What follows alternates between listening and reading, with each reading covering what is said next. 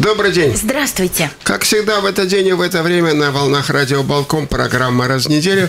Разговорно-информационно-познавательная, иногда даже музыкальная программа. Не без того, да, вообще большую эстетическую ценность мы несем, по нашему мнению, нашим слушателям. Э, часто просветительские спецэффекты тоже. Возможны. Возможно, наши передачи сегодня без них не обойдемся. Ведущий этой передачи Михаил Губин. Элеонора Рузвельт. Звукорежиссер Константин Рост. Да, за пультом. За пультом и за пультом.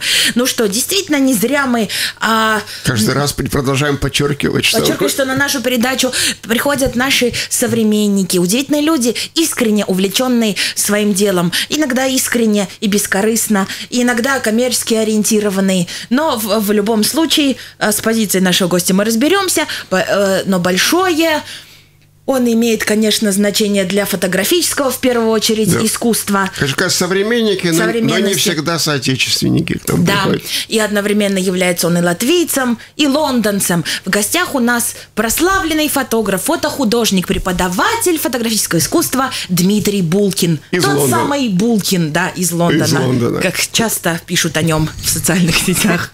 Здравствуйте, Дмитрий. Доброго дня. Очень рада, что вы к нам приехали. Ну, действительно, вот знаете, казалось бы, Булкин, какой-то Булкин, скажет какой-то недалекий Да. э, в фотографическом смысле человек. Несведущий. Несведущий сильно. А вот как только написали мы анонс, что придет к нам Булкин, сразу же, вы знаете, просветленная часть всяких фейсбуков пошла шептаться «Булкин, Булкин». Все радуются, лайкают, там как-то это распространяют информацию. Такое ощущение, что знаете, все, все люди, которые хотят фотографировать красиво, художественно, ходили к вам на курсы. Вы ведь курсы преподаете в том числе, да? Преподаю, только я преподаю не курс, а на курсах э, фотографии. На я курсах преподаю, да. фотографий. Курсы-то я не преподаю, конечно. Простите, пожалуйста. Фотографии, да. Вы учите других людей красиво фотографировать, грубо говоря. Но не то чтобы я учу, я учить-то как можно? Научить-то человек сложно чему-то. Он либо сам научится, либо не научится. Поэтому скорее я стараюсь сделать так, чтобы у него легче это получилось, если он этого хочет. Но, может быть, что у него ничего и не получится. Если не хочет, то не получится. Если хочет, то получится. Прям вот даже если Да. бездарный человек какой-то. Ну, нет бездарных человеков. Ну как Если у нет? человека есть желание к чему-то большему, чем съесть и уснуть, то это уже не бездарный Рано человек. или поздно, да, вы считаете? А Конечно. нужно ли действительно, простите, вот за эфиром мы уже прошутились, вот это заводы стоят, А, они- не они- фотографы в стране. Нужно ли множить поголовье э, фотографов, людей с фотоаппаратами, со всякими устройствами? Ведь без, без того же огромное количество фотографий э, в сети, в интернете, Да. мир погружен в эти фотографии. Социальные сети буквально этому только способствуют. У всех фотоаппараты, у всех смартфоны, каждый Да. любой вот миг уже сфотографирован, и все это размножается, полнится. пол- Куда дальше-то? Сплошные фотографы кругом. Вопрос Нужны ли же- дополнительные фотографы этому миру? Вопрос же это не в мире, что они нужны миру или нет. Это же уже не коммунизм, когда мы делаем тех, кто нужен миру. Это скорее, нужно ли людям фотография, которые занимаются, то нужна ли она им, а если они чувствуют, что нужна, то нужна. А им нужна. А кому-то нужна, кому-то не нужна. Кто хочет заниматься, тем нужна. Кто не хочет, то тому либо не нужна, либо он не знает, что она ему нужна. Не, ну такое ощущение, что, А как хитро. что фотографами, которые возомнили себя все. Ну, так и не только фотографами, и музыкантами, и писателями, и А, кстати, и поэтами. вот, ну, в э, теме в литературе и, наверное, в музыке, э, вы знаете, принято как будто считать, что если таланта нету вот сразу у человека, то и никак он не, не овладеет этими тонкостями искусства. Наработать же нельзя в литературе, например, пушкинский талант, там стихи сочинять. Это же все-таки это гениальность от природы. Так ли фотографии? Или все-таки тут вот можно научиться что-то понять, постичь? Ну, Мне кажется, и в, жив... и, в- Да? и в э, литературе это тоже можно всему. Смотря что такое талант. Если мы воспринимаем талант как рука Божья, либо со- какое-то нужное сочетание биобактерий внутри, тогда оно либо есть, либо нет. А если талант это какое-то настроение или желание или состояние, то оно все приобретаемое. Люди, которые приходят к вам учиться, чему они хотят научиться, какая у них цель? По-разному, по-разному. Интересно. Кто-то хочет самовыразиться, кто-то хочет э, делать фотографии из путешествия красивее, кто-то хочет научиться пользоваться фотоаппаратом. По-разному. Но это в ходе всегда меняется это желание. Оно каждый месяц.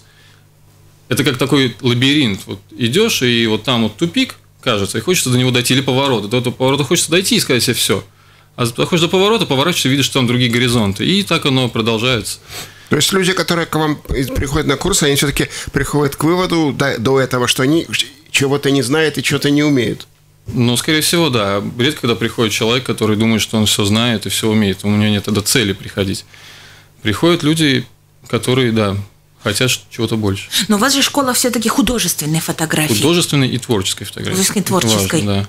Она отличается от, не знаю, семейной, репортажной и прочих других. Она отличается от всей не художественной, не творческой фотографии. Да. А в чем заключается концепция художественной и творческой фотографии? Ну, как определить уже художественной или нет еще? Художественное определяется достаточно просто, потому что есть художественные средства выражения.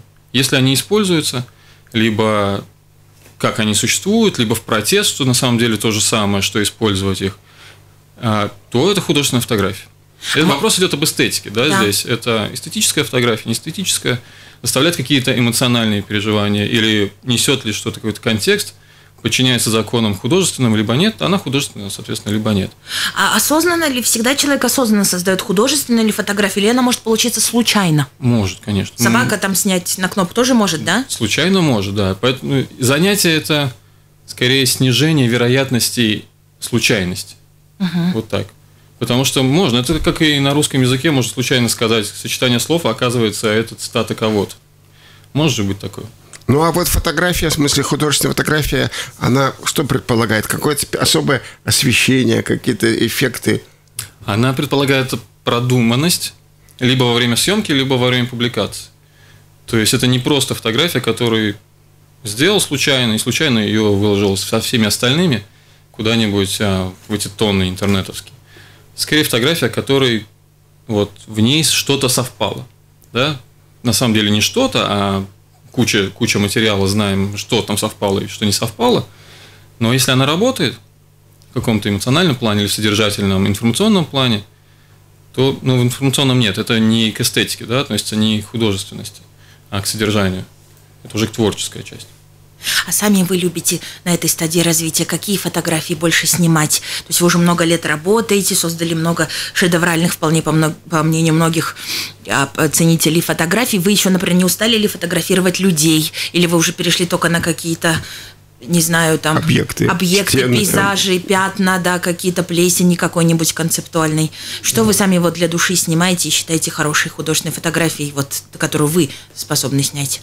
Все, что я снимаю, все для души. Угу. То есть э, я не занимаюсь коммерческой фотографией в том плане, как она существует на заказ. Я делаю фотографию ту, которая у меня делается, которую я хочу для души, и потом ее кто-то покупает или не покупает. Это как картина. Да, чем это отличается от коммерческой фотографии? Это коммер... ну как бы у нее цель изначально не коммерческая. Я не делаю ее на продажу, угу. я делаю ее потому что а, я не могу ее не сделать. Да, это какой-то внутренний посыл. Но так как она уже существует, сделанная мной а по моей цели, то почему бы не поделиться? Да, я назвал это так, скорее всего. Ну, не поделиться для того, кто хочет тоже это. А вот, скажем, если следуя совету писателя, молодым писателям, если можешь не писать, не пиши, можешь ли вы сказать молодым фотографу, можешь не фотографировать, не фотографировать? Не хочешь фотографировать, не фотографируй, потому что ну, да, насиловать себя да? нет смысла, а идти в ногу с модой тоже бессмысленно. Лучше уже это время потратить на то, что действительно хочется делать. Но если чувствуешь в себе какую-то потребность, то надо делать. Да, если она даже маленькая, за нее нужно цепляться. За желание нужно цепляться. Давайте расскажем э, о курсах, которые вот э, произойдут в конце следующего месяца в Риге. Э, удивительная возможность действительно их посетить людям, которые заинтересованы э, прильнуть, как говорится, к источнику творчества. Они пройдут 21-25 июля. Ли... Не совсем так. Простите. Они, как бы этот курс состоит из двух частей. Да. И есть 19 по 20, это два дня. Первых технические а, они для тех, кто не, не умеет работать с техникой, либо считает, что не умеет на хорошем уровне работать с техникой, потому что тема тоже обширная, и это как бы предзанятие перед вот тем, что начнется 21 по 25, когда речь уже не будет идти о технике в основном, а будет идти об эстетике, о художественности и о творчестве. То есть о том ничем, а скорее каким способом, как и что. А какая техника, вот какую вы рекомендуете использовать? У вас написано как будто, что э, вообще не важно, не То имеет значения. Не, не, не Действительно ли, да? То есть можно, цифровая, можно, не цифровая? Можно снимать и мобильным телефоном? Ну, мы же только что это делали, конечно, можно снимать Да, да, телефон. да. Надо сказать, что, что вот кто-то мог уже видеть по камерам, как мы перед эфиром с Михаилом фотографировали друг друга, а до этого за пределами студии, студии просто шантажом и угрозами заставили нашего гостя Дмитрия нас сфотографировать, чтобы у нас тоже были фотографии руки великого Булкина. И он просто с ней зашел, и скоро мы тоже их где-нибудь Ну хорошо, а запустим. какой-нибудь старый там советский пленочный черно-белый фотоаппарат? Пленочный не может быть черно-белым. Это пленка может быть черно-белой. Ну да, я имею в виду А, черно-белая пленка. Хороший фотоаппарат, если он работает, если он не доставляет каких-то дефектов на, на кадр, то прекрасно. Почему нет? Абсолютно можно. Ну, сейчас Какая-то мода же есть сейчас, да, А вот сейчас же как- хипстерская, винтажная, там снимать Ну, на остались же будто они какие-то лучше. фотографы, которые до сих пор еще на пленку снимают, Я, да? я снимаю Да. на пленку, да. На пленку. На пленке, да. А почему нравится на пленку? Мой материал, я его чувствую. Да, и вы сами проявляете. Сам А цифровые что, не снимаете, что ли? Сейчас уже нет. Раньше снимал, а потом как-то постепенно перех- а, начал совмещать и понял, что в сравнении я работаю с пленочным материалом гораздо То эффективнее. есть вот как, значит, э, лампы то есть когда вот как гурманы могут отличить звук там с пластинки или с диска на слух там, а то вы можете отличить пленочный кадр цветного, ой, а черно-белого? Да. пленочную О, от цифрового. от цифрового, да? Не- не- я думаю, что не всегда. Да, есть мастера, которые из цифрового кадра делают прекрасные фотографии, и там даже нет мысли о том, как это сделано пленкой либо цифрой. А, Но для меня самого в момент создания важен, не в момент анализа чужой фотографии, там-то уже не важно.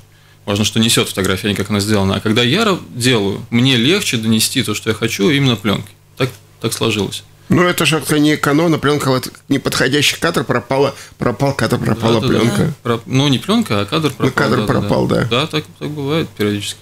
А вот что про эти про пресловутые айфоны, простите, айфонография так называемая. Тут пишут, что в 2012 году обложку журнала Time, Time знаменитейшего, на которой ставятся вся, выносятся какие-то суперценные кадры, э, украсила, собственно, фотография сделана просто на iPhone. Фотографом, ну как просто, на iPhone. И это а, была фотография, посвященная урагану Сэнди. Знаменитая фотография. Ну, так Мо- это- Могут ли да. такие снимки тоже считаться Ну, это же как бы художественными? Художественными. Или это опошление какого-то жанра Не, нет, высокого это фотографии? вопрос эстетики, и, конечно, может, да, потому что айфоном тоже можно туда внести все и композиционные вещи, и пространство, и цвет, и форму. Совсем можно играть айфоном, неважно. Телефон, ой, телефон, фотоаппарат – это фиксатор того, что происходит в голове, или где-то в сердце, или где в руках. Поэтому каким способом его фиксировать не столь важно, если этот способ фиксации позволяет сделать то, что хочет автор. Если он справляется с этим, то отлично. Для кого-то это iPhone, для кого-то это пленка, для кого-то цифра. Для меня, скажем, пленка не всегда помогает мне передать настолько то, что я хочу передать. Кому-то именно цифра помогает, кому-то iPhone. Это вопрос технический, да, это как раз-таки вот у меня разделение есть в голове на три части этой всей темы. Есть техническая, есть эстетическая, есть содержание. Есть чем, есть как, есть о чем. Ну, с этими айфонами и прочими смартфонами, это разве не жульничество какое-то? Это же компьютер, ну, как бы все уже бездушно машина делает, сама обрабатывает эти Да. И спецэффекты, вот это- сепи и все и вот вот это, это, да.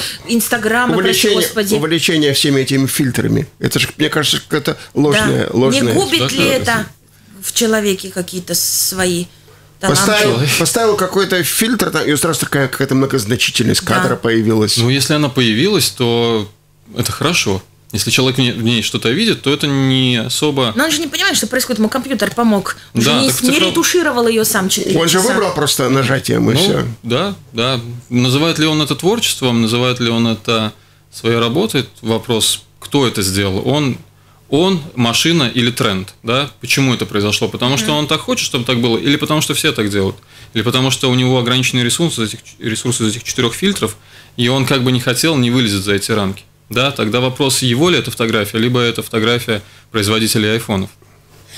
Мы даже забыли э, в, в угаре начала программы назвать телефон, и тем не менее кто-то нам уже звонит. По телефону 67 212 93 И 9 67213 93 и 9. и также на сайте mixnews.lv Видите, видеочат. да, видеочат. Здравствуйте. Добрый день. Добрый день, меня Дмитрий зовут. Вот хотелось бы вашему гостю Дмитрию задать а, вопросик а, более широкий, наверное, чем фотография. Хотелось бы узнать его отношение к современному искусству вообще. Не получилось ли так, что с увеличением количества мы очень сильно, ну, скажем так, потеряли в качестве? то, что если раньше на пленочные фотографии, то, ну, на, на пленочные фотоаппараты фотографировали действительно там 36 кадров, и это было, ты каждый кадр выбирал, то сейчас щелкают, я не знаю, тысячами, оно лежит, и, в принципе, э, ну, в этом плане фотография потеряла. Хотя доступность, наверное, увеличилась, э, ну, то, что теория больших чисел, да, то, что у нас хороших кадров стало очень тоже много, но их найти сложнее.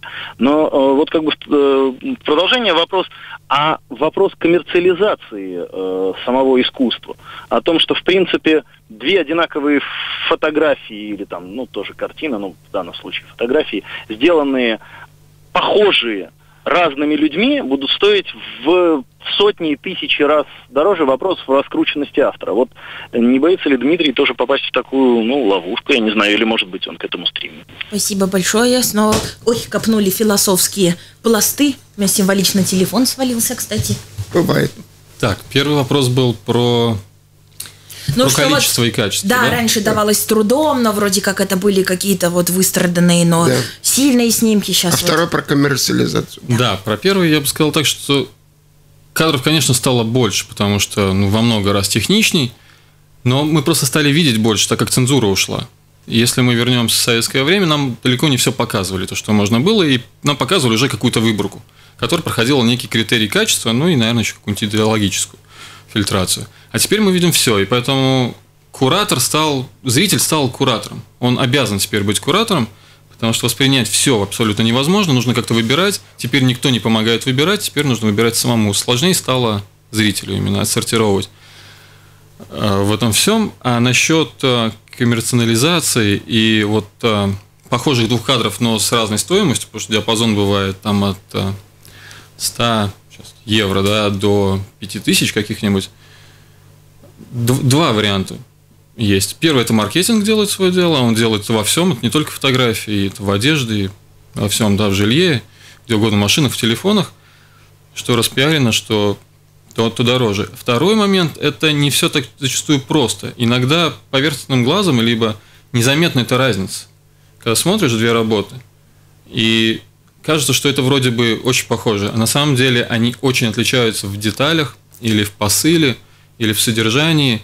Там есть маленькая, но очень важная разница зачастую. Не так, не, не так все просто. Например, а, в лондонском, опять же, Tate Modern висят, висит Дали. И напротив него очень похоже, очень похожий стиль Дали. Да? И у меня был знакомый, я завел смотрю, он говорит, вау, Дали, да, вау, вот тут Дали. Я говорю, нет, ты что, не видишь, это не Дали. И когда он посмотрел обратно Дали, он понял, что это не Дали не потому, что у Дали нет такой картины, а потому что это на самом деле, когда ты сравниваешь две картины вместе, вот они стоят, понимаешь, uh-huh. что там крупица разницы, но это кардинально важно, что Дали бы так никогда в жизни не сделал, не потому что он так не умеет, а потому что его, его внутри нету того, что там есть. А хорошо, а тогда такой еще, пожалуйста, пример. Вы же вот в Лондоне живете, там, например, функционирует знаменитый Бэнкси, да, который сейчас называют гениальным. Кстати, он бескорыстный же сам, он же не продает как будто свои работы, ну, условно скажем, да, по крайней мере, за миллионы стены же вырубают уже, где он нарисует, и кто-то продает как бы в пользу Это знаменитый мастер настенной, Граффити, настенной да, живописи. стрит-арт так называемый. И там же Энди Уорхол, он лондонский же, да, тоже?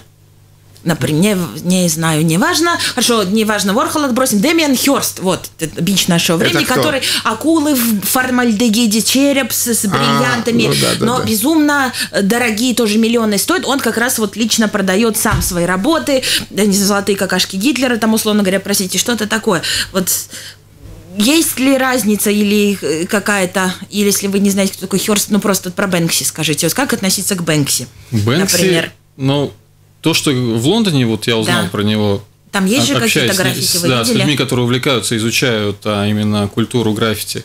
В Лондоне, в определенных районах она живет, откуда он появился сам, и где очень много граффити. Говорят, что на самом деле это не супер а, бескорыстное дело, что за этим угу. целая большая машина. И коммерческая, и пиар-машина, и пытаясь выйти, как каждый журналист Лондона пытается разоблачить. Бэнкси да. да, кто же это такой? И говорят, что как только натыкаются на каких-то его знакомых или сопряженных рядом с ним людей, люди пропадают сразу же. Но как, я за что кто? купил, за то и продал. Убивают? Нет, ну нет. Исчезают. А, не выходят да. на интервью, условно, да, там говорят, что я не могу. Но я, опять же, за что купил, зато продал, Да. ничего не знаю сам лично. А граффити вы видели его знаменитые хотя бы какие-то? На улице их нет практически. Нигде нет, Да, да? они исчезают буквально. Там одна недавно появилась, и ее И люди исчезают. сразу. Эй, граффити, Ну, давайте сейчас прервемся на новости и Да, рекламу, да, и да, да. потом вернемся в студию. У него своя студия творческой э, фотографии художественной. Его все любят. Раньше он был в Риге, теперь он в Лондоне, периодически он в горах. Дмитрий Булкин, известный фотограф, у нас в гостях. И- А телефоны прямого эфира, напомню, 67 212 93 9. И 213 93 9. Мы готовы уже активнее принимать звонки. Вот много звонят нам, возможно, поклонники, может и противники вашего искусства. Творческого Творческого метода. метода. Здравствуйте. Здравствуйте, спасибо, что приняли звонок. Я был фотограф, скажем так, ну, с плохим опытом, больше всего удаются пейзажи мне. Я хочу поделиться впечатлением с вашим гостем, уважаемым человеком. Спасибо, что он у вас в гостях. Вот буквально неделю назад я, прогуливаясь вдоль берега водоема, увидел великолепное просто сочетание. э, Падающий закат э, освещал облака, и они отражались в абсолютно, в абсолютно гладком водоеме. Я буквально закурил сигарету, бросил и побежал, благо дом рядом, вернулся с фотоаппаратом, и все исчезло. И вопрос вот в чем. Было ли у уважаемого мастера такие впечатления, когда он что-то не успел заснять? Потому что я буквально закрываю глаза вот уже почти неделю, и у меня это видение перед глазами. Просто какое-то... Спасибо, что Не вы- переживайте, держитесь, еще будут Еще- кадры наверняка. Да, спасибо. Вот такая проблема. Постоянно. С- Да? Постоянно. Это абсолютно ежедневная процедура, потому что камеру я с собой никогда не ношу. Так вот э, просто. Я если ношу, то я, значит, вышел на, на дел. Так назовем. А, конечно, идешь, и глаз же он цепляется за все, мысль цепляется, мышление цепляется, мышление уже нельзя изменить. Оно находит какие-то важные вещи и жалеешь. Но на самом деле нет, я не жалею, я как бы получаю от этого свою, свою долю радости. И то, что я не смог запечатлеть этот кадр, толкает меня на следующее действие, да, которое приведет меня к, может быть, такому кадру, может быть, похожему кадру. Если меня зацепил этот пейзаж, там где-то озеро или что-то, то я поеду искать. Да, если я не смогу уснуть, и этот кадр будет меня преследовать, я поеду его искать. И это хорошо, да, такой мотиватор. А вот как с авторскими правами, скажите, какое у вас отношение? Э, Разрешаете ли вы людям распространять, может быть, какие-то ваши снимки в интернете или строго пытаетесь следить, и возможно ли вообще это? И могут ли люди, или обязательно они должны деньги платить за то, чтобы там перепечатывать чужие фотографии? Как вообще? вот Перепащивать мы. Перепащивать, прости господи. В социальных да. сетях. Да-да-да. Какое Мне кажется, что отношение? интернет само по себе, пространство, которое появилось эн, там, уже десятков лет назад, оно изначально было свободным, да, информационно свободным. И до сих пор я воспринимаю это как абсолютно простое, свободное распространение информации, бесплатное, никаких денег, Ну, да, ничего не стороны, какое-то отслеживаю. новостное агентство возьмет ваши фотографии, Да. будет иллюстрировать свои грязные новости. Вопрос зачем, да, вопрос цели. Если кто-то на этом делает деньги, то как бы было бы неплохо, если уже пошел коммерческий процесс, Да. то давайте играть в коммерческий процесс до конца во всех случаях. А если человек берет это только для эстетического удовольствия себе, или поделиться с кем-нибудь, то никакой финансовой схемы не происходит. Зачем-то думать с финансовым мышлением в этом вопросе. Не надо. А вот термарки вы ставите? Нет, не ставлю. Даже нет? Не ставлю, хотя надо бы, да, Надо надо, же. бы, но когда происходит сам процесс этого всего создания, и финально вот оно все готово, нет, не, эта мысль куда-то пр- пропадает. Я забываю о ней, и когда публикую, только потом я думаю, ну, было бы, наверное, неплохо поставить watermark, но в сам процесс, в этом пылу или в осознании того, что это все готово, или в радости, забываю всегда. Но порядочные люди всегда пишут в скобочках Байбулкин. Такой же это, это тренд. бренд. Давайте вот еще поговорим о курсах. О курсах, курс, о да. школе. Да, вот я в школе, о курсе. Вот у вас есть там название курсов слово интенсив. В чем это зак- заключается? Интенсив. Интенсив он потому, что сам курс а, основной, который я преподаю, он идет год. И в Риге он шел год. А, Всегда. И сейчас в Лондоне он идет год. А, И так как я нахожусь большую часть э, времени в Лондоне, то в Риге я уже не могу сделать а, годовой длинный курс, поэтому... А в Риге хочется что-то делать, все равно, как бы, говорится, душа кипит. Поэтому я начал искать какую-то, какую-то форму другую, и вот появилась такая вот форма. Интенсивная, это значит, что там будет больше действия, меньше слов. Слова тоже будут, конечно. И он будет с 10 утра до 8 вечера. То есть такое погружение, глубокое, интенсивное погружение. И это сложно воспринимать как замену того курса, потому что в том курсе много идет на мышление, на анализ, и где-то 50% идет практического действия. Здесь будет больше практического действия, э, слова будут только такие точечные, ну не только точные, а вот и будет меньше, да, меньше будет бесед, будет больше дела. Первая часть с 19 по 20 июля, вы сказали, будет про технику подготовительная, а вот основная часть называется на художественная и творческая фотография. Что будет примерно происходить там, если можно узнать, чему вы будете обучать этих людей? И как? И как, да.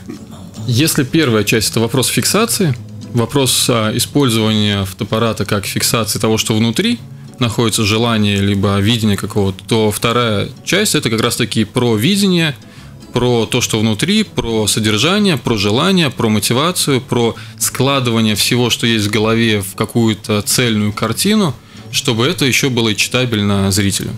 То есть это композиция, это работа с элементами художественной формы, цвет, пространство, а, тона, цвета, фактуру и про прочие вещи, которых очень много, с помощью которых можно передать все, что у человека внутри. Поэтому мы будем работать как раз таки с формой передачи, и с содержанием. Будете ходить или вы перемещаться куда-то на какие-то объекты выезжать? Выезжать нет, будем много времени проводить в студии. Будем выходить, а, как говорится, в поле, но недалеко, чтобы не тратить много времени на переезды. А интенсив, он на то интенсив, чтобы погрузиться и не отвлекаться полностью. Максимум 12 участников написано у вас. Угу. А если многочисленные слушатели захотят, уже не смогут они присоединиться? Ну, есть какой-то, может быть, люфт там до 14, может быть, до 16, ага. но, в принципе, больше 20 никогда точно нет. То есть вы маленькую группу, да? Да, потому что это важно держать во внимании, что происходит лично с каждым человеком, а не вещать с аудиторией гигантской, как в университетах делают, и потом просто собирают матрицу ответов. Нет, тут как бы работа, с одной стороны, и групповая, с другой стороны, и личностная. И больше там 12-16 человек сложно держать внимание. И чтобы еще было время у каждого сказать то, что он думает, потому что это же вопрос творческий, художественный, там нет правильных ответов. Поэтому нельзя шаблонно отвечать на все вопросы всплывает очень интересный вопрос, который мне не приходит в голову периодически, потому что я мыслю туда, может быть, уже в каких-то местах более зашорено. Когда приходит человек с новым мышлением, он задаст такой вопрос, который я думаю, вау, а почему же я как-то не думал об этом, как я прошел это? И мы тогда отвечаем вместе. В этом сила группы. Почему это сильнее, чем индивидуальные занятия? Ну, вот такой компромисс. И группа вроде бы, и вроде бы индивидуальная. У меня вопрос-загадка так. нашему гостю. Знаете ли вы фотографа, которого зовут Андреас Гурский? Вдруг? Мне кажется, Андреас что, Гурский. Мне кажется, что я слышал, но я очень не слежу Очень совсем. хорошо, очень-очень хорошо, потому что, как вы думаете, он считается самый дорогой в мире фотограф. Вообще самый а, дорогой. я понял, да, о ком идет речь. Да? да. А, тогда да. вы знаете. Хотела спросить, что, по мнению э, Дмитрия, он фотографирует людей, там, животных, э, этот fashion или что. А вы помните, что он фотографирует самый э, дорогой? Самая что покупают за миллионы? Это река, да, и газон, да, если я правильно понимаю? Да, да, да. да, да, Рейн 2 фотографию купил, между прочим, украинский бизнесмен Виктор Пинчук за 4,4 миллиона долларов США. Казалось бы, но у него, значит, такой стиль, что он залезает на э, высокие точки и панорамные снимки, очень, как бы, на мой взгляд, там графически правильно у него, аккуратненько, чистенько, но бедненько. Миллионы платят, понимаете? Да, вопрос, может быть, это тренд, а может быть, в этом что-то есть. Но вы видели этот Rain 2, эту фотографию про речку? Как да, считаете, но я, я, я или... не видел ее вживую. Да, ага. это важно. То, что интернет да. это да, как для музыканта может быть MP3, эм интернет это так достаточно бедная превью-версия, то есть такая демо. То, что это нужно смотреть вживую и в полном размере, мне кажется, что это должно быть большой размер, потому что он такой детализированный да. человек, у него до этого были работы, где он скрупулезно подходил к каждым деталям. Например, 99 центов называется, это, видимо, магазин или распродажа какая-то в 99 году он сделал, за 3,34 миллиона тоже у него купили, там какие-то сейлы, там нагромождение каких-то банок, чего-то. То есть, Представляете? То есть, то есть тут нужно рассматривать детали, поэтому лучше смотреть фотографии в оригинальном виде, да? Обязательно нужно смотреть фотографии. Ну, то есть, если есть возможность, конечно, да, конечно. да смотреть. Что-то можно подчерпнуть из э, превью, вот эта версия интернета, но, в принципе, как человек, который видел, сравнивал оригинал и э, демо-версию, будь то спектакль, будь то песня, концерт, понятно, что никакая видеозапись не передаст концерт, который был там. То же самое с фотографией. Фотографии в интернете, они все-таки не отражают, да, полностью? Да, конечно. Тем более, что у вас еще монитор у всех каждого по-своему настроен. А вот, скажем, наоборот, вот, э, возможно, возможно ли как вот вы считаете, приемлемо ли бы, скажем, использование фотошопа или других редакторов с целью корректировки, корректировки фотографий, улучшения, там, исправления Да. чего-то? Внешности человека, Да, смотря, смотря что. Смотря что. Везде есть грань. Ну, скажем, вот ему пейзаж, вот что, вот он снял пейзаж, что-нибудь там фотошопом добавил и заиграл. Да. Вот Но смотря чего что- в природе как бы нету там. Вот того, чего не было, мне кажется, что это прекрасное искусство, которое называется компьютерным искусством, либо коллаж, но уже либо коллаж на Но там всего фотографии. не было ни оттенка определенного, ни какого-то... Да, с оттенком это вообще сложный вопрос. Как, что передает оттенок и как мы его видим глазом, потому что мы тоже глазом видим по-разному. У нас у каждого свои колбочки, там бочечки, какие-то там матрицы тоже устроены, как они устроены технически. Пленка тоже бывает разная, кон- чувствительна к определенным цветам, к другим нечувствительна. Это вопрос очень спорный насчет цветов. Насчет а, конкретно наличия каких-то объектов, тут более-менее очевидно. Да? Если произошел монтаж, то это монтаж. Именно вырезано, вклеено, добавлено, либо убрано, да, именно объектно, то, мне кажется, это уже называется компьютерным искусством. Прекраснейшее искусство, но другое. Но можно людей фотошопить? Считаются ли все еще хоть сколько-то ценными художественно эти фотографии? Женщин, например, красивых. Ну, Не- так- Не для обложек журналов, Да, такое, а вообще. в принципе, ну хоть чуть-чуть. Конечно, Это же конечно, допустимо, да, да? Да, безусловно. Есть, Вот. есть ценители именно вот натуральности, да, или как именно находят в этом красоту, то, что это естественно. А замыленное мыло кому-то да, кому-то нет. Люди очень разные, в этом бо- богатство наше человеческое. Как знаменитый художник, кстати, тоже на радио Болтком нам рассказывал, Никос Сафронов. Э, спрашивали его т- слушатели, почему вы так, значит, там на 7 килограмм обычно э, худее человека рисуете. Он говорит, ну человек же может похудеть, там не сегодня, а завтра. Ей же будет приятно, что, что я ее сам там подтянуть, это же все можно. С любовью относится. Да, да, но фотография интересное искусство, оно очень связано с реальностью. Да, оно фиксирует а, реальный объект. И в этом, мне кажется, очень большая ценность и отличие от живописи, от а, литературы, в которой писатель может выдумать сюжет или нарисовать, сидя у себя в подвале, что-нибудь, море какое-нибудь, то фотограф, он берет все из жизни. Использует только те вещи, которые находятся в жизни. И в этом какая-то есть особая такая изюминка, что ли, а- или аура, или харизма фотографии. Ну, в этом, мне кажется, и потому и причина ее массовости. Потому что гораздо труднее что-то нарисовать, написать, и чем пойти вот... Казалось начать- бы. Казалось бы, чем пойти фото, выйти во двор, начать что-нибудь фотографировать. думаю, что успех фотографии в данный момент а, исключительно благодаря маркетингу производителей камер. Они очень хорошо работают в плане, что им нужно продавать, они хорошо это навязывают, поэтому фотография вылезла в такие топы. Скоро, наверное, придет видео, и, все будет хорошо. Когда нужно было продавать телевизоры, я думаю, что кино было на высоте. Но вот, а возможно ли в будущем, что вот будет на такой высоте уже техника, что будет что-то уже вот, э, ну, технологии сейчас заложенные в Google Glass, в очках, которые можно да, фотографировать, они разо- разовьются до неимоверности, и можно будет просто простым морганием сделать какой-нибудь кадр. Мне кажется, что наверняка уже можно. Ну, я не, думаю, не что- очень слежу, но, наверное, Не, ну можно. сейчас пока можно этими дорогущими очками, которых в один экземпляр, да. скажем, у нас в Вопрос, Латвии. зачем? На все, не, ну так вот, это будет тренд, модно. Да, да. Все будут ходить, моргать, фотографировать. Ну, так А смотри- кто-то моргнет гениальное Смотри, в какой-то да, момент. да. Есть же, есть же фотография, она же разделяется, да, тоже. Это не общая такая масса фотографий, как и литература. Есть записки на холодильнике, а есть, есть сочинение школьника, есть а, справка от врача, а есть произведение литературное. Также и фотографии. Есть там фиксация, что купить, какой, какой овощ сфотографировать. Есть «Я здесь был» на фоне Эйфелевой башни, а есть а, «Я так вижу».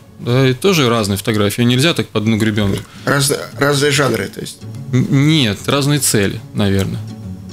А что вот, что вы скажете, вот, вот из недавних новостей про э, фотографии, тут яркое событие, значит, сделали первое в мире селфи на статуе Христа в Рио. То есть Христос, на него залез блогер Ли Томпсон, и он сфотографировался на вершине статуи Христа Искупителя, значит, э, и Вместе что он... с Христом или Ну, только себя? Ну, как бы он там в основном он, и как бы я и дружище Христос, да, чуть-чуть, но видно, что это вот на какой он статуе стоит. Э, Влез он по лесенке, значит, с другом, и вот там он сфотографировался. Сейчас вот это считается тоже достижение какое-то, знак то ли апокалипсиса приближающего, то Ну. ли прорыв, например, друг. Вот Мне кажется, такое что уже мы возможно. каждый свою болезнь стараемся довести до абсурда. У кого-то лучше получается, у кого-то хуже. Но все мы получаем от этого удовольствие. Он от своего, мы от своего. И все имеет право на жизнь. Мне кажется, если это не задевает чувство верующих, тогда все хорошо, мне кажется. Кстати. Чувство верующих в iPhone, например, можно задевать. Золотые слова. Где искать ваши работы в интернете? Где наши слушатели могут с ними ознакомиться? Может, кто-то еще попадет на знаменитые курсы и сможет немножечко как-то тоже развиться в этом плане фотографическом? Да, я сейчас говорил, что в интернете смотреть это демо-версия, но опять же в интернете, да, конечно. Сейчас, сейчас есть в интернете, в Риге ничего не висит нигде. А, сайт можно, да, говорить? Нужно, конечно, да, Сайт называется bybulkin.com. Угу. Это основной сайт. А есть подразделение photography.bybulkin.com, там только фотографии. И есть э, school.bybulkin.com. А где висят фотографии? На bybulkin.com и нет, на нет, фотограф... в жизни. А, в жизни? А, сейчас, вот сейчас я их забрал из Portabella Photography Gallery, это в Лондоне, и они полетят. Сейчас я прилечу в пятницу в Лондон, и в суббо... воскресенье утром в Копенгаген они летят на выставку Homeless что-то Exhibition. О. И там они будут висеть достаточно много. Успеем ли мы, Мишенька, Давай, стремительно принять вопрос слушателя? Алло, алло, здравствуйте. День. Э, я очень быстро. Вот только поднял э, господин Губин вопрос о техническом прогрессе вот в этом, э, как подспорье в этом великом искусстве фотографии. Так. Вот скажите, для вас не важно, каким образом сделана фотография, я поясню чуть-чуть позже. Главный результат ее, и как вы говорите, как, как вот тот, кто, значит, представляет эту фотографию, видит изображение воображаемое. Да, что он складывает... Я имею в виду о техническом прогрессе, что можно сейчас поставить просто фотоловушку и уже не самому фотографировать, а отбирать из там, я не знаю, из тысячи или, может быть, даже несколько тысяч кадров, вот именно те, которые представляют вот ваш эстетический вкус. Как ваше отношение к этому? Примерно всю передачу об этом же и говорили, но тем да, не менее. Это вопрос, который на самом деле об одном. Либо человек нажимает на спусковой крючок этого фотоаппарата – и тем самым отбирает фрагменты из жизни, либо он берет их больше из жизни и потом отбирает из того, что взял. В принципе, это один и тот же процесс отбора, только он либо в начале его больше, а потом меньше, либо его в начале меньше, а потом больше. И с другой стороны же ученые, в смысле фотографы, простите, всегда да, на, на технический прогресс э, пеняли. Вот тут вот хорошая цитата с интернета. О боже, фотография умерла, потому что теперь можно заниматься ею, ничего не зная химии и не будучи ученым караул, кричали в 19 веке. И так были правы вот, по-своему. По-своему были правы, но тем не менее фотография живет. И это радостно. У нас в гостях был замечательный фотограф, фотохудожник Дмитрий Булкин. Спасибо вам большое. Спасибо.